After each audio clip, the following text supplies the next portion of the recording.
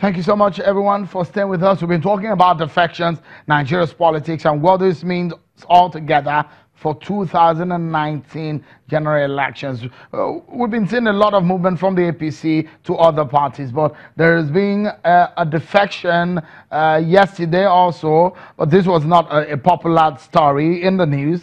Uh, the member of the House of Representatives representing Oshodi Isolo Federal Constituency in Lagos and sponsor of the Not Too Young to Run bill, uh, Mr. Tony Nwulu has defected to the United Progressive Party, UPP. He's left the PDP to the UPP. Let's get back to the conversation. What this means is uh, for the uh, 2019 election, and Nigerians uh, uh, in general. Mr. Segun Sowunmi is a chieftain of the PDP, and Honorable Cletus Obun is also a chieftain of the APC. Thank you so much, gentlemen, for talking to us on the program tonight. Uh, Honorable Obun, as it stands right now, the contention uh, for a lot of people uh, that left the party is that uh, they don't they no longer trust the some of the ideologies and uh, some of the what the party stands for.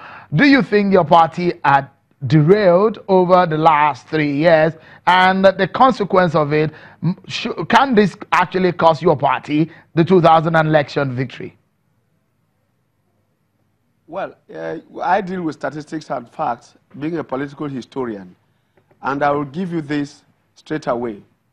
In the last registration exercise that INEC just updated, we have 14 million voting strength for northwestern Nigeria.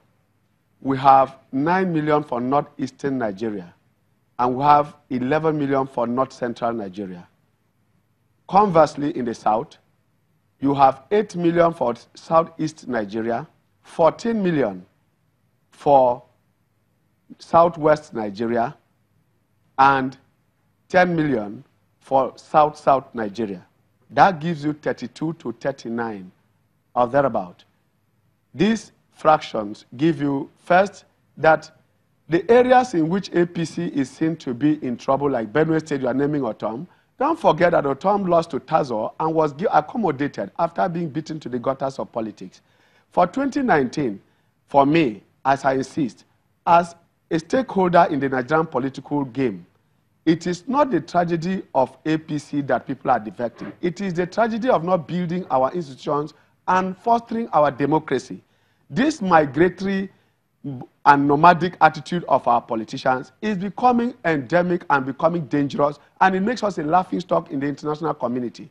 That is what Nigerians should be looking at. This bread and butter politics must have to stop. For APC, I can assure you that APC is not shaken. First of all, there was the tantrum by yesterday that APC is losing its member and therefore in the minority. Today, you are confirming, and one member has even come out, and there are still more figures coming out. By the 25th of September, when they return, you are going to see that Buhari is untouched, unfettered, untainted, and of course, he was the brand that gave the victory.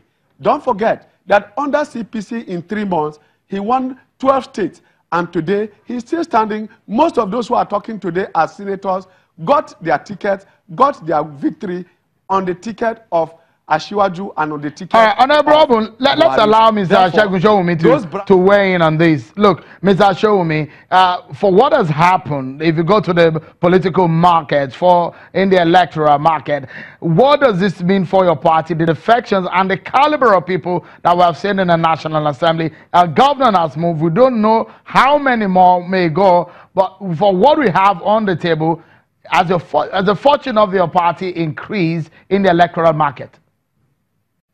You see, I think that um, anybody who understands how the political game is played in this country will tell you that in the first instance, in the build-up to the 2014-2015 election, President Muhammadu Buhari before then had contested about three or four times, and he, three times, and he had not been able to win until some of these big players moved in with their numbers.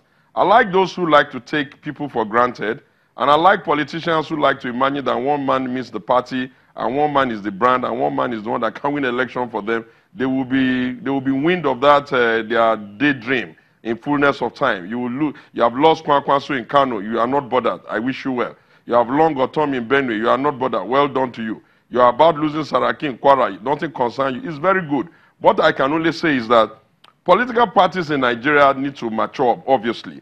But in the build-up to getting them to mature, there are some things that obviously rises and falls on leadership. We have an idea in Nigeria where the highest ranking political office holder per zone or per ranking, maybe the president is considered the head of the party at the federal level and at the state, the governor and chairman of local government at the local government.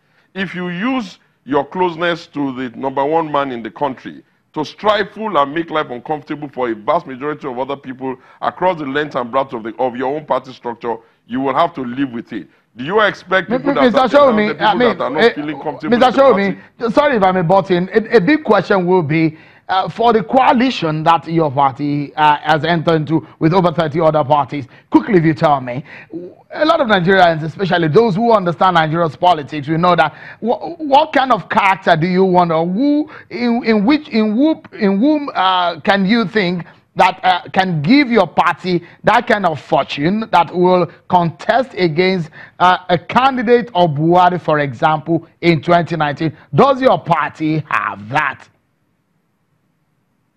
Very, very simple. Our party has within its rank the former vice president, a consummate politician, a bridge builder, a consensus person, a Democrat, a man who knows how to create jobs, an experienced politician, a man that is comfortable across the nooks and crannies of Nigeria, that all Nigerians are comfortable of, in the person of the former Vice President Waziri Atiku, Adam, uh, Atiku Abubakar, Vice President 1999 to 2007, who is going to probably be able to give us a very good outing, and all Nigerians can expect that he will easily beat Buhari. The only time that Muhammadu Buhari, president, did not get 12 million votes was when he was challenged by someone from the old PDM structure in Shehu Musa Yaradua. He didn't get 12 million votes. People must remember that we're going to be choosing between two Fulani men. We're going to be choosing one that has a lot of network across the country and people have trust and confidence in him. We're going to be choosing between one that does All right. not, I mean, Uh, we, we need to close the one program now, uh, sadly so. Uh, but uh, let me allow uh, Mr. Obun for uh, just 30 seconds, please. And we need to go. It's going to be a keenly contested way. Is your party in the right shape and form for the 2019 election? Can the party hold, uh, the center hold for your party with all of this that is happening? Just in 30 seconds so that we can close. I can assure you that APC is at no other time better positioned than now to get its acts together. How is it going to get its acts together?